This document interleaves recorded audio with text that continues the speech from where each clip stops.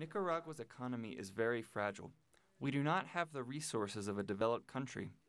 The world economy of the developed countries was able to expand based on subsidies, and there are organisms that want Nicaragua to take similar measures, that what they can do is to sink the economy.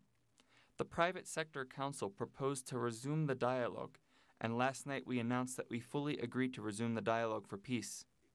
We have already responded to the Council.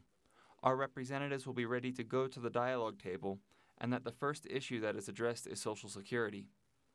Maybe we find formulas that allow us to protect or cover part of what is being applied to workers and to pensioners.